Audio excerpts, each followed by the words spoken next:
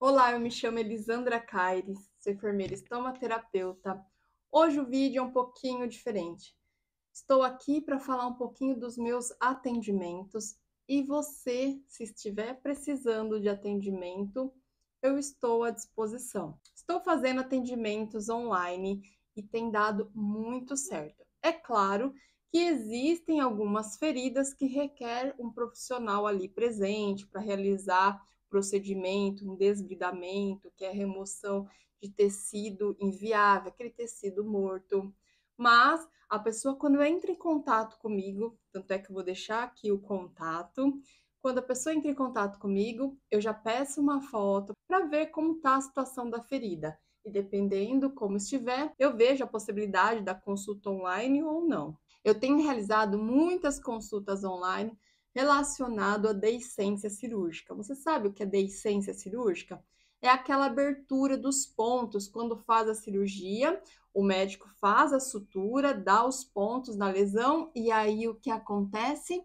Acaba rompendo e formando ali uma cavidade ou mesmo uma lesão ao redor. Mas outros tipos de lesões também são possíveis no tratamento na consulta online. Uma vez que essa lesão não tem necrose, aquela necrose de coagulação, que é aquele tecido escurecido que precisa um desbridamento, aí eu consigo fazer essa consulta online.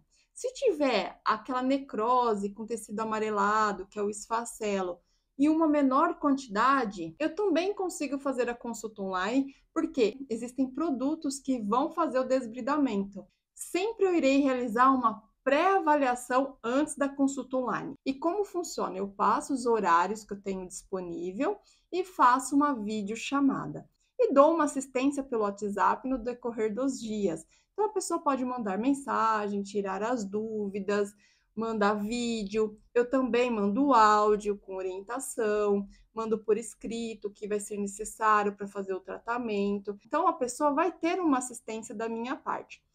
E também realizo as consultas presenciais. Eu atendo São Paulo, em Guarulhos. É claro que é gigante a cidade, então dependendo do local, tem pessoas que até passam a fazer a consulta online, ou então, sendo combinado tudo certinho, eu vou até a residência. Mas eu também continuo com o projeto social. O projeto social eu ajudo várias pessoas, até mesmo fora do país, com alguma orientação. Então, a pessoa tem uma dúvida, ou alguma dúvida relacionada a algum vídeo, ou no uso de algum produto de curativo, eu faço uma orientação pelo WhatsApp.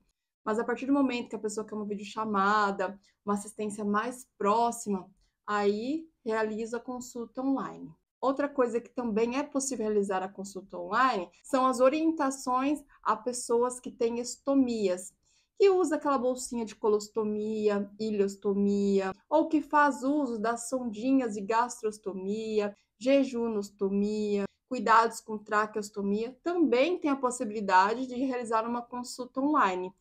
Então, gente, a consulta online, ela ajuda a esclarecer muitas dúvidas e através dela eu consigo captar alguns erros que estão acontecendo. E às vezes somente ajustando alguns detalhes a ferida já vai para cicatrização.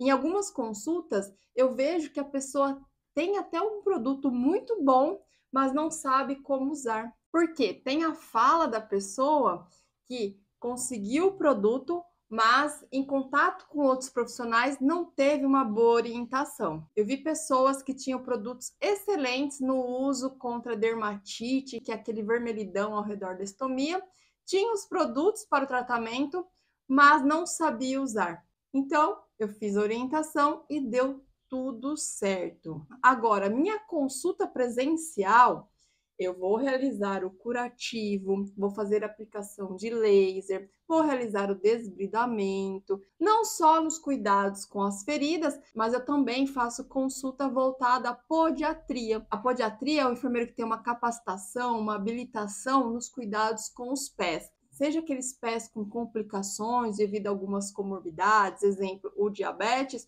ou então que tem aquela unha encravada, ou então que tem micose, eu faço tratamento. E também os cuidados com as estomias. De momento, eu ainda não estou fazendo as consultas voltadas às incontinências, mas também faz parte da minha área. Incontinência urinária, incontinência anal. Porém, o dia que eu começar a fazer essas consultas, eu vou estar vindo aqui falando para vocês. E eu sei que tem muita procura, muitas pessoas que me procuram, porque eu trabalho em um ambulatório privado no tratamento de incontinências, mas no meu particular eu ainda não estou atendendo, ainda. Mas tem vídeos aqui no canal do YouTube falando sobre as incontinências. Então, às vezes, vocês vão assistir vídeo falando sobre feridas, sobre incontinências, sobre os estomas, ou até mesmo sobre algumas comorbidades, como diabetes, porque é o meu dia a dia e essas comorbidades podem levar até mesmo a lesões, pode levar a incontinências. Então, tem comorbidades que estão bem relacionadas nessa minha especialização. E eu venho aqui trazer informações para levar a prevenção de tudo isso. Gente, então esse vídeo foi mais para trazer aqui umas explicações. Eu também não posso deixar de pedir perdão a vocês, porque eu sei está chovendo mensagem no YouTube e muitas vezes eu não estou dando conta e responder. Quem me manda mensagem no meu celular, eu faço de tudo para responder. Mas no YouTube tem uma grande quantidade de mensagens. Eu estou respondendo, mas nem sempre eu consigo responder tão rápido. E a pessoa às vezes fica esperando, às vezes é uma queimadura e aí a pessoa está precisando de imediato. Então, gente, quando vocês verem que não receberam a resposta ali no YouTube, uma coisa bem séria, manda aqui nesse contato. Esse contato é tanto para dúvidas quanto para me contratar nos serviços de consulta online e consulta presencial, tá ok? Eu vou pedir para vocês que ainda não se inscreveram aqui no canal, se inscreva, ative as notificações, dê um like para o YouTube entender que esse vídeo é relevante, entregar para mais pessoas. Se você ainda não me segue lá na rede social vizinha, eu vou deixar aqui o endereço. Sempre tem posts novos falando sobre estomaterapia ou educação em saúde. Então é isso, eu vou ficando por aqui. Um beijo e até o próximo vídeo.